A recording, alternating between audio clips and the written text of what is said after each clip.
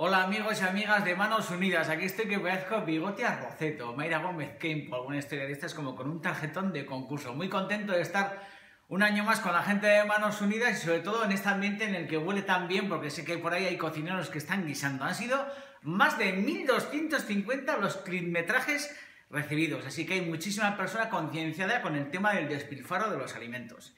Y aquí estoy en plan bigote arrocet, como os he dicho antes, Mayra Gómez Kemp, para entregar un premio. Atención, señoras y señores, en el culo tengo flores. El ganador viene de una tierra en la que hay chorizos, en la que hay caparrones, en la que hay un mogollón de vino increíble.